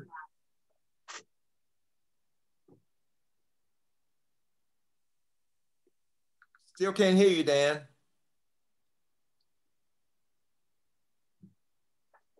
Okay, well, while he's trying to get his uh, um, sound correct, let me read you. Um, I got a question here from the chat. Um, this is from Kathy uh, Ricky to everyone. Dr. Whiting, I must leave. Thank you so much for your presentations. So important to have this knowledge. Just a point of speculation. The Hebrew people are the happy or have no known origin, at least by biblical scholars. Abraham and Sarah are from 200 BCE. Why not Kemet, Africa, and some of the theological narratives that are reflected in Judaism and Christian, Christianity? The first Christians were Jews, were not in the blood and memories of the Hebrew people. Okay, um, I think what she, what well, let, let me um, I don't quite get what she's trying to say here, but let me touch on this. The, the first indication we have of a people who are, are Semitic, Semites, were the Hyksos. Um, they invaded uh, Kemet, okay? Uh, uh, and that was the reason for the uh, second intermediary period. But when they invaded, they only controlled the northern part of the country, which is up near Alexandria. And they, they ruled for, for 200 years. It was a brutal rule. And um, so that is the only evidence of, uh, of a, a, Semitic people coming into um, Kemet and basically living there for a period of 200 years and they were eventually run out because again, every time the civilization of, of Egypt was restored, it was because it came from Nubia and Ethiopia. It came from, it came from the southern part. They basically uh, created these massive armies and, and they ran the Hyksos out okay? But that is the only evidence we have of uh, uh, what we were, the people that they showed looked sort of like Semitic looking, who basically lived and basically uh, were in Kemet, uh, but they came in as invaders. So I, I, I, don't know if that answers her question or not, but. Uh, let, me, let me add something to that. I just, uh, I have a friend of many years, and I just learned that she is Ibibio. The Ibibio were people who left northern Judah before the uh, Babylonian captivity, left to, toward uh, Egypt, and then settled in uh, Western Nigeria. Some of the people there still practice the old religion, she says. Well, it's really interesting, Reinhold, that you say that because when we went to Ghana, uh, the Ashanti, uh, our guide, as a matter of fact, told us that his family history goes all the way back to, to Egypt and that they were, they, they were run out because of the invasions and that's how they got to Ghana. And he said that this is a common story of a number of the uh, uh ethnic groups in Ghana. Mm -hmm. So, yes certainly there are uh, African Jews. Oh, yes. Oh, absolutely. Yeah. Oh, yes. Absolutely. Uh, in fact, they they uh, they were they were fleeing because of conflict, and uh, they had to kind of they had a little hassle getting into um, um, Israel, and when they did get to Israel, they were claiming that they were the original the Hebrews because they could go all the way back and and uh, in terms of their stories. And I think that there was some tug of war between um, uh, the Jews in Israel today and and these and these um, and these African Jews. I don't know how that was resolved, but uh, I do remember reading about uh, some of the yeah. some of the discussions. Yes. Dan, can you speak now? Sorry, we can't hear you. Uh, Dan?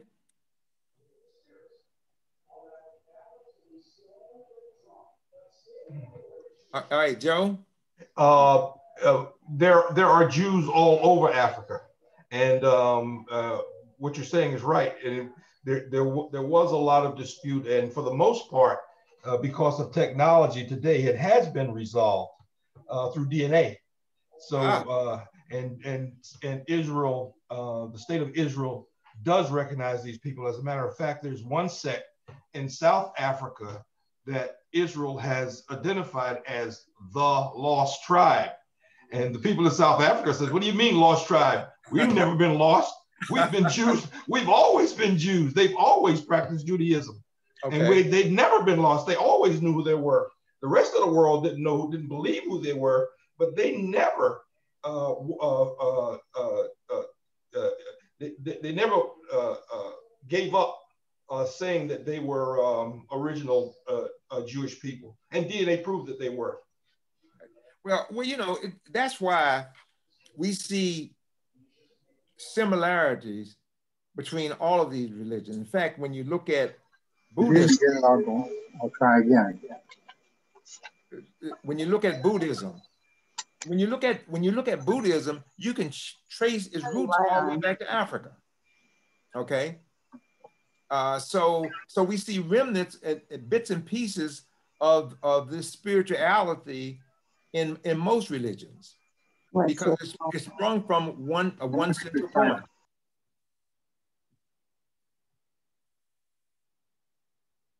Okay, any more questions?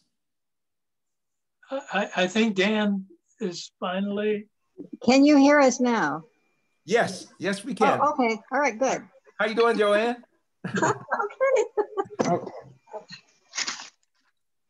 oh. okay, I have a, you can hear me?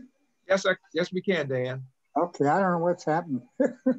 anyway, uh, Rob, you mentioned that Plato and Aristotle uh, referred to how they got, how the Greeks got information con concerning math mm -hmm. and uh, writing.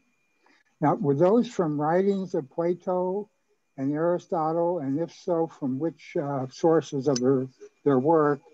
or from what sources otherwise did that come from? Oh yes, absolutely. Um, when you look at uh, book book two of um, of of oh, I, I reference book two of um, Herodotus. I mean, he specifically spells out everything. And then if you if you go and look at the writings of uh, uh, Aristotle. I don't know the exact uh, part of the book, but the quotes that I, I read you were exact quotes. I mean, those, those were exact quotes from, from his writings. But, but they all of the Greek scholars admitted, starting with Thales, who was the first Greek scholar, uh, Thales encouraged his students to go to Africa. Okay, I mean that that was common among the Greeks. And the Greeks never tried to hide that. It's just that when modern historians started writing the history, they started basically, in fact, for, for example, when you look at Herodotus and his writings, there are scholars they are saying, yes, Herodotus was right on a lot of things, but when it came to Africa, he was drunk or he, I don't know, whatever. But we, we, they try to discard that, okay? And so we still see this trend uh, today, Dan, and it's this, these battles are being fought. That's why if, uh, you know, I took uh, introduction to philosophy and everything started with the Greeks. They basically downplayed the contribution that came from Africa, you know, and so it was as if, and that's why we call it the Greek miracle because the Greeks have no history okay? That's why the Greek philosophers were prosecuted because they were bringing a foreign doctrine into Greece that was not part of their culture. So when you look at all of the evidence, it points to the fact that uh, modern day scholars wanted to give credit to, to, to the Greeks for Western civilization and basically cut the Africans out in terms of their contributions. And that's not saying that the Greeks didn't take that information and enhance it in terms of uh, some of the things that they did, but th there's still this push today because as I've mentioned to you a number of times, you can go to any college and take a philosophy course and they're not gonna start with Africa. They're gonna start with Greeks and they're gonna basically attribute all of the, the, the, the, the scientific findings to Greeks, et cetera, et cetera. But when you look at the history, you can see that that is distorted and is not true. Okay. And now, and what you, if you want a the exact page and that type of thing, what I can do, Dan, I have your email. I, I can go and I'll, I'll look at that quote again and I'll, I'll send you that information. But I also want to say to the audience, uh, Dan is, is very, very heavy. Dan was, we were, we had a, a real nice discussion with Reinhold on um, energy and the various theories and quantum physics, etc. And um, Dan had my head spinning. Okay, I can tell you that much. So he's he, he's he's very well informed and very well read. okay, okay. Um, anyone else? Well, I would I would appreciate it if you would send me that information. Oh, okay. Uh, email, Ron. Okay, I will. I will. Thank you. Okay. Were you able to hear me? I, I see my sister Carol there. How you doing, Carol? Go ahead. Go ahead. Reinhold, can you hear me? What's that? Could you hear me? Yes, I can hear you. Yes, we can hear you. Testing the uh, microphone device. Uh, right. Okay. You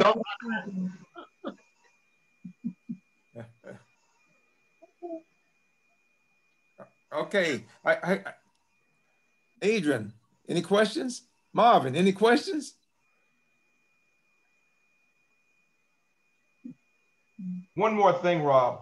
Uh, I, I, I know, I know you can't go to, you might not, you can't go to Egypt now because of uh, the pandemic and because of political situations, but um, I had an opportunity to go and uh, I'm going to tell you, it was a life-changing uh, trip uh, because you get an opportunity once, once, and you need to spend some time there.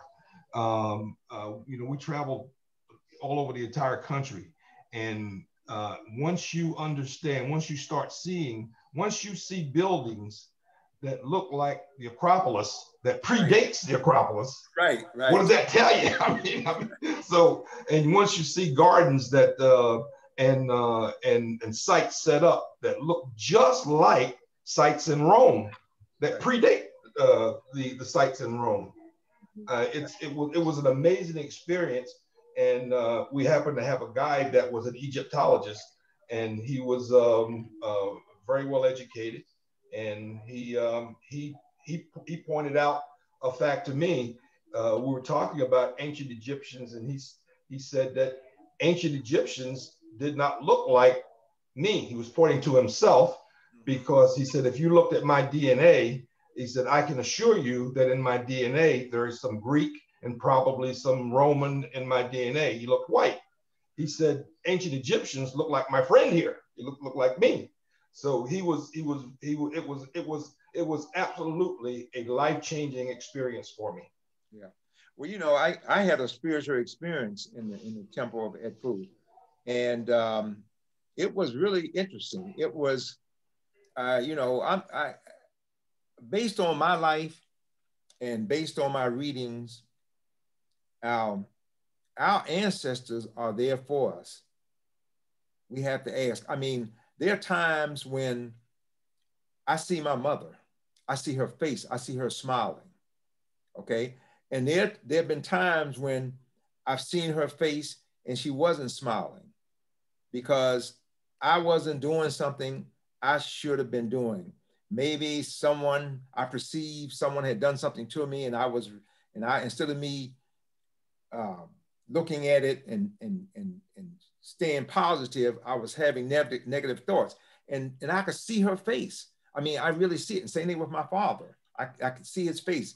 Um, sometimes he'd be smiling, sometimes he'll just be looking at me. And now I know some of you may think I'm crazy, but it doesn't happen that often. But I know that my parents come to me at various times. Okay, because I can see their faces and I can see whether they're smiling or not.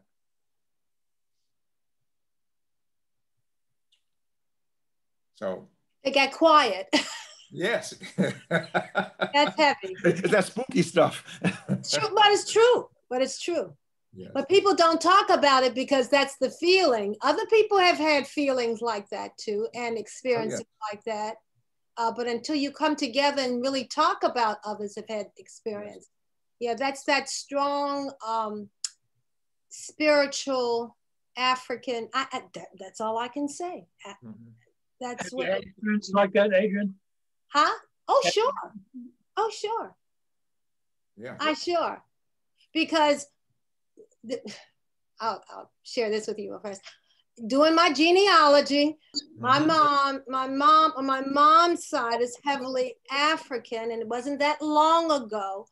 Um, her great great no, my great great grandmother, which was her great grandmother, uh, was a slave.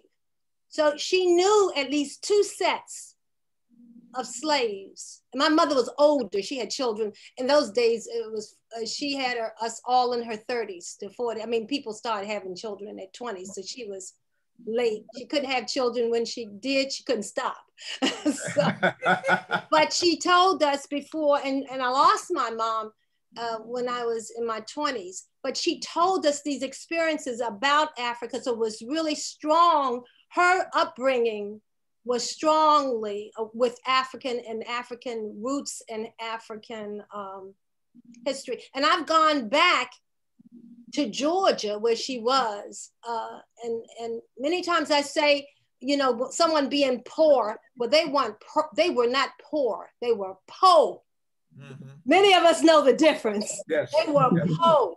They lived off the land, mm-hmm. and um, many of the uh, the the medicines and the roots and the things like that. This is what we grew up with because we we were we were poor, and we did not have a we didn't go to the doctors. But my mom used to say, everything that you need is from that land out there. It can cure everything and that was the roots and and from the from the earth mm-hmm. so yeah and i i feel that vibe you know with coming up and co- coming up in light probably in my in my seasoned years now you know you go back to that and you really see the importance of uh, that connection uh, because we don't have those distractions any, anymore like we had before right well yeah think, think about what I'm sorry. Go ahead. No, no, I'm finished. Yeah. Think about Harriet Tubman. Yeah. You saw the movie. Oh I well, mean, I, I, studied her for quite a bit and taught okay. her. Yeah. Yeah, I mean, so the fact that the things that they that she, that she did, yeah. I mean, it, it had to be a spiritual component. How can you yeah. walk across a river and not drown and no and and and you been she's been guided by something that's beyond anything that we can comprehend in, in this existence. And I think last month I talked about my meditation, how I went into, I went beyond the senses, okay? And I was there with the bright white light, okay? It, it, it was a, it was a, a major turning point in my life to, to experience that. And I basically, it, it, it, it I had to reflect and really understand it took me years and years to figure out what that really meant. But there is something beyond us if we can go into ourselves and basically understand it and let ourselves go and stop thinking. And um, I know that one of the things I've learned too is that we really have to stop trying to rationalize and think our way out of stuff. And I know Marion Barry was a type of person, he was the mayor of DC, that he always went by his gut. If he met someone and if his instincts told him, you know, I mean, he didn't deal with you. That was it. He didn't like you. Miles Davis was like that. If he met you and whatever feeling that, whatever instinct they had, if that instinct told them that not to deal with you, they never, they never changed. They never dealt with you. Mm-hmm. So it's really interesting that some people are like that. They just follow their instinct. Mm-hmm. Mm-hmm. We all have it. We just yes. don't tap into it. And, and, and yeah. Adrian, I can tell you one thing: when I don't follow my instinct and overthink it and rationalize, it, I'm usually wrong. I, I, am usually wrong. I mean, you know. every time. Yeah. Every time. yeah. Let me go ahead. Nika, unmute. In in religion, you know, we won't make that connection to Africa but we know that God speaks to us and guides us, and we pray, and we see that God, we we we we practice uh, looking, reading our dreams and our daydreams, and it's like the three ways that God will guide us and speak to us. And it's all going back to the African traditions and spirituality. Mm-hmm. Mm-hmm. And they and they practice a lot of things that we have been known to call it like witchcraft and, and mm-hmm. voodoo and um, but it was a strong spiritual it, it was a, a, a extremely strong uh, strong spirituality we just didn't understand what they mm-hmm. would you know right well, Harriet, you from the South, you know, yeah. you know down there, they did things real different, but you you you you didn't understand it then, but we kind of understand it now. Unfortunately, because of how it was perceived, it was not passed on. On to in a way. I mean, I wish that I had talked with my great grandmother. Me too. They used to talk about the roots, you know, and like you said, you could for healing for anything except that you didn't talk about it because they because of the um, way they, they felt they were being perceived. But, but you know, I, I think Harry's mom was a, a, a, very special person from the standpoint that she was very religious, but she was open to new information. Um, and she knew where I was, but she accepted me even though where she was was different. And I always admired her for that because of uh, the fact that she was very, very religious. And she really, I mean, you're talking about, but I think that it's similar to what I saw in Ghana. They were very religious and I asked our guide, um, Selassie, I said, well, you know, I, I said, I, I never knew that Africans were this religious. He said, yes, but they have maintained this uh, uh, a large part of their spirituality. Okay, in addition to being uh, to, to, being religious, and so I think that that's that's that's uh, what happens to a lot of African Americans. They're very religious, but the spirituality is there that keeps them trying to do. I'm talking about, I'm going to talk about everybody now because we got some real criminals and all that kind of stuff and people who will do you in in a second. But I'm talking about the, the, the, the general people that I have dealt with in my life in terms of my family and, and others that even though we may slip up, we try to abide by the tenets of truth, justice, order, righteousness, etc. in fact, and, and Adrian, you talked about voodoo. One of the reasons that the Haitians were able to defeat Napoleon twice they defeated the, the French Right. was because of their spirituality. Yep. And Can I say, and the Haitians are being punished to this day for that because the, uh, the, the French, even though they're known to be liberal, they demanded that the Haitians pay them restitution for all of the land and stuff that they had already stolen from the from from there, and so that that that put uh, Haiti in debt that they've never been able to get out of, and is now the poorest nation in the Western Hemisphere, and for some reason, nobody's helping them, and I'm just wondering, I don't know if they're still being punished for the fact that they were able to defeat the French twice. Absolutely. Absolutely. That's the Still and- quite and- poor, poor. Yes, no question. Bad shape, bad shape. can I Well- say, um, when I was in middle school, I went to Catholic school from like the fifth grade to the eighth grade. And there was just something missing. While I was in school, I became a five percenter in Catholic school because, you know, there's something missing when you're studying uh, and uh, religion and, and Jesus is white and the just the spirit you just it's just just something missing.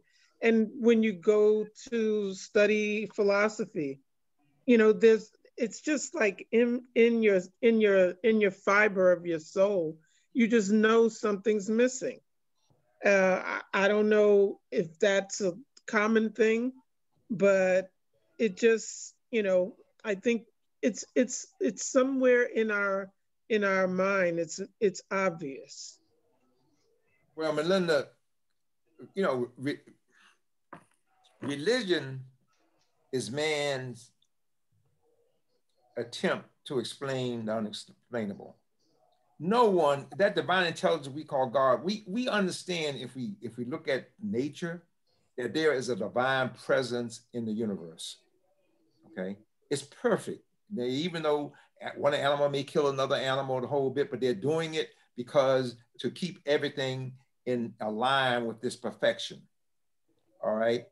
And and and un, unfortunately, Africans were the first ones to come up with the concept of depicting God as a as a man. And that set off what we have up to today. Okay, because people took that concept and basically, and I'm I'm sure they did it for a reason because we have to understand that when we look at history, not only did it keep them unified because everybody was thinking in the same uh, uh, uh, direction, but we saw the same thing that happened in Europe when Christianity was what when when the when the Romans went out and the other people went out and they started conquering other people, they imposed Christianity on these various groups in Europe, and that was and that was the major foundation for the unification of Europe. Okay, even though they fought amongst themselves, they had a unifying concept of God that looked like them, and it allowed them to come together as as a whole and to basically go out and and conquer the world. So, but up until that time, the even though they had a a depiction, a saw of of uh, as as a god, when you look at the at the writings, they didn't have a clue as to what this divine intelligence that we call God was or looked like. You know, just a, it, humans can't even conceive of something being beyond what we look like. Okay, and so as a result of that, we have all you know, you know, like the Arabs had their version, the, the Indians had their version. Their gods look like them. I mean, every ethnic group that comes up with a a a concept of God as a man, it looks like them. Okay, and which is natural. But we don't know. We know that there's a divine and uh, uh, uh, divine president presence in the universe, but nobody has a clue as to what that is. Whether it's not, whether it's even a human, we don't know. But we just make these feeble attempts to come up with these concepts, and they serve their purpose by unifying people and allowing people to go out and, and conquer other people, et cetera, and control them. You know, before Europeans got unified, there was a lot of bloodletting. The yes. Thuringians and the Saxons were yes. uh, decimated by yes. Charlemagne. I don't know yes. why he was called the Great, but he stumped a lot of people there. Okay, John, go ahead. What happened to the goddess in Kemet? Spirituality. What happened to the goddess? Okay, okay. What, what happened was once the see the woman. Okay, let me go back and, and, and, and explain this. What happened in Africa that where the woman role was really equal to the man in a sense. Mm-hmm. And that's why they have, in fact, you can say even above the man because the lineage passed through the woman. It's a matriarchal type, in ancient Africa was a matriarchal uh, system. It was until the Arabs came in, okay, mm-hmm. with their version and put the man and, and, and made the woman subordinate, and the mm-hmm. Christians came in and did the same thing. Right. So since uh, most of these African countries were conquered by either the Arabs or, or the Christians, the they've taken on some of that the same behavior where they put the woman, push the woman back. Okay. Uh, so so so we see that. But I see that in in my family, um, my mother was a, a, matriarch. I remember, and my sister is is, is here. Uh, when mom was alive, every Fourth of July, every Thanksgiving and Christmas, there was nobody who didn't show up. I mean, it was like you were going to show up for those three holidays as a family. Okay. Once my mom passed away, mm-hmm. all of that disappeared. Hmm. Okay. So, I think so, so, that's the strength and the power that that these that these women had, or at least in in in in, in our family. Yeah. Um, I think it's also interesting linguistically. Uh, contemporary Sudanese uh, languages are unmarked. A strange person. And that I think is kind of an uh, intriguing phenomenon. That I'm, I'm uh, listening to a discussion on. Okay, let me see if I can mute you. okay, you're muted. Um, anyway, we, we have, uh, um, um, I don't know, actor, actress. Those are gender marked. Sudanese dialects are not gender marked. And I think ancient Kemet, uh, Kemet uh, the uh, Kandake ruled. She was the boss, uh, so to speak.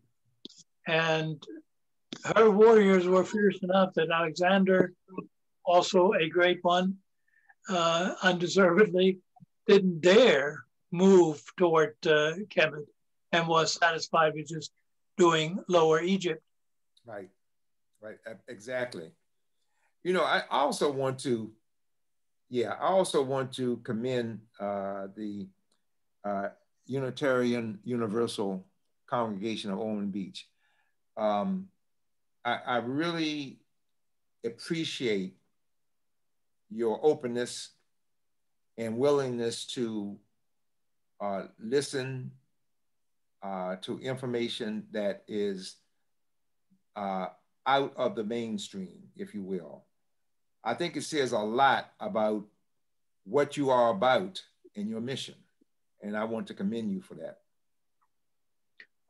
Yeah, the theory is to help everyone build their own theology. That's okay. what uh, Unitarian Universalism is all about. Okay. Okay, thank you very much. And uh, it's uh, probably getting close to uh, bedtime, huh? Absolutely.